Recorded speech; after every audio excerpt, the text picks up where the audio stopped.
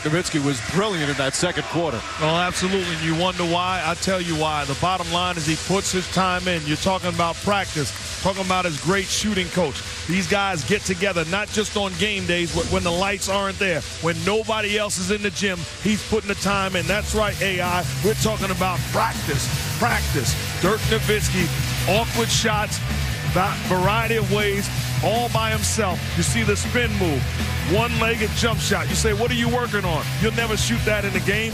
Absolutely you will. Spin move, fade away, one-legged jump shot off the glass. These are shots that he's working. Another spin move. You're not part of a band. He says, shut your mouth, Mark Jackson. These are the plays that I make in the game.